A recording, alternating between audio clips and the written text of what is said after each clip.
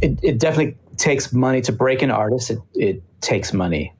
Um, and, and, and that's the deal. You know, if you go with a major label, um, which could be a good thing and it could be a bad thing. There's, there, you know, there's many projects that I worked on where the artist did well on a major label, and there's other projects I worked on where they probably should have been on a smaller label and maybe built things up a little bit more from where they were at before going to the major, and maybe that would have been a better trajectory for them. But um, it's you know it takes it takes a lot of capital to break an artist and and luck and um, yeah, it's.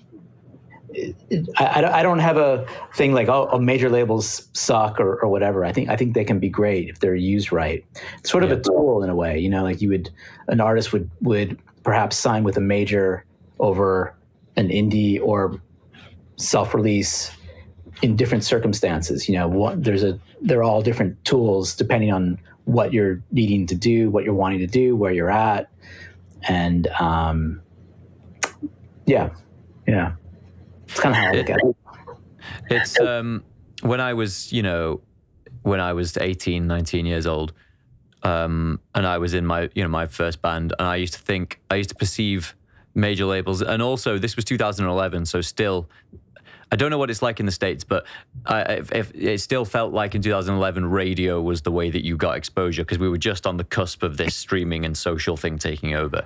Um, and I used to basically perceive major labels as banks that would give you money to become famous and yeah. radio stations if they if all they did if, if radio stations just played your music you would become famous and then i was like um, all of those people, well, certainly the labels, are taking a lot of risk on your on, on your behalf. And you know, you mentioned a moment ago, it takes takes capital, it takes money to break an artist. That's the reality. We all like the dream that you write, "She loves you" or "I want to hold your hand," and then everyone thinks you're the best. But what what you, I mean, this, I'm not going to ask you a contrived question. I apologize, but you know, if you had to ballpark it for a young artist, what kind of thing, what kind of capital are we saying it takes to invest into an artist to break them? I guess it depends on how far along they are. Mm. You know, how big do do they have a fan base to release music into? Is there some base already established? Um, if there's not, I would actually say it should take that you shouldn't spend any money probably or very little because you money. don't know if there's a market yet. Yeah, you should probably. I mean, the, the the amazing thing is with with social media an artist back compared to when when I was in a band, you know, mm. a few years back, um, where our social media was literally handing out flyers on the corner. You know, um, we would go was down. That 1991, 92 kind of thing.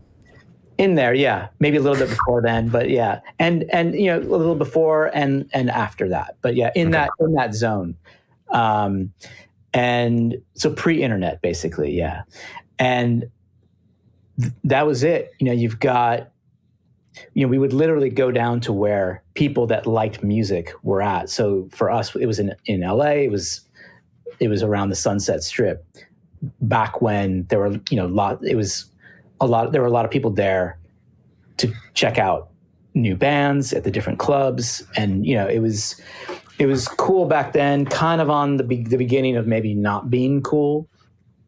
Um, but we would go uh, and we would hand out flyers, especially if we were going to be playing around there. We would just go on a corner on like a Friday night or Saturday night and just here, come check out our band, come check our band, and we would try to make engaging flyers to hopefully catch someone's eye. We'd also put them up. Um, which they'd usually get taken down by the end of the night. By you know, someone would take them down. But that was our social media, and you could only hit so many people, and we had to pay to, you know, get the design. Usually, one of one of us would make the design. The drummer would make the design, but you have to pay to get them printed, um, et cetera, et cetera.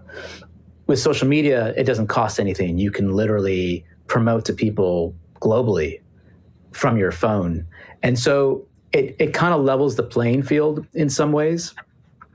Yeah.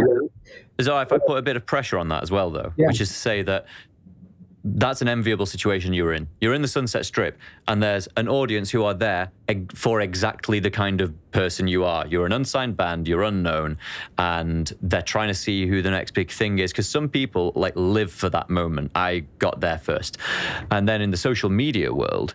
Um, yes, the original idea was, well, you can hypothetically promote to everyone. But of course, that kind of targeted promotion, I want music fans in LA who like this kind of stuff, all of a sudden, you actually have to pay big tech giants to push your stuff to that audience. So, uh, but I don't know. Well, maybe that's a bit too cynical.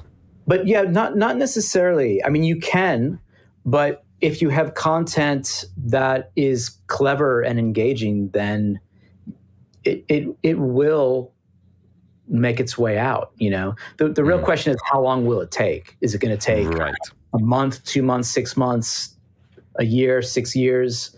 How long is that that going to take? So if it if it's engaging enough, um, you know, there's there's many artists that I've worked with that have started um, with some social media following and then they they were very clever with their you know I hate to say it, you know but, but their branding and just mm. the what what they were putting out and the frequency of it. And they you know they would quadruple in a year. They would quadruple or you know double that quadruple and you know they would just it would keep expanding. Yeah.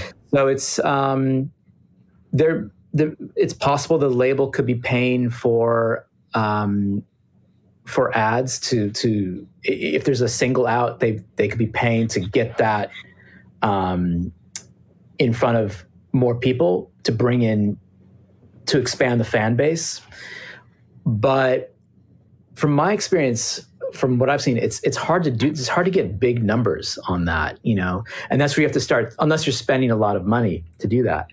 Yes, I mean, do, do you know our homegrown local flavor, the 1975?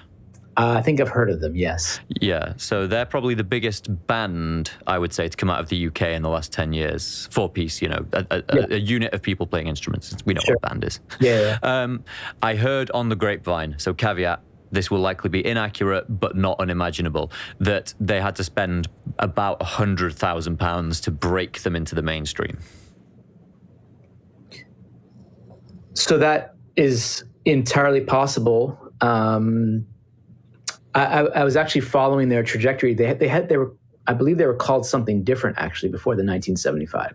Yeah, they had, they had about three names. I was a mega fan, by the way. Yeah, Big yeah. Sleep and Drive Like I Do. Yeah, but so it's possible 100k. I mean, I would actually think to break an artist at that level, for, if we're talking break like first album, Chocolate, you know, all, all those songs that were coming out. I actually would have thought it would have been more than that. Right. Because um, when you're talking radio, to you know, in the in, in the U.S. to run a radio campaign, that's what it would cost for for one song. I would say for for alternative, we have a format here called alternative, and um, which is probably what they would have slotted into at that time. Um, and it it really takes like 80 to 100 and you know and up 80k to 120 you know to, to do it right to get like a, a, a number one or a top 5 mm-hmm. it costs a lot of money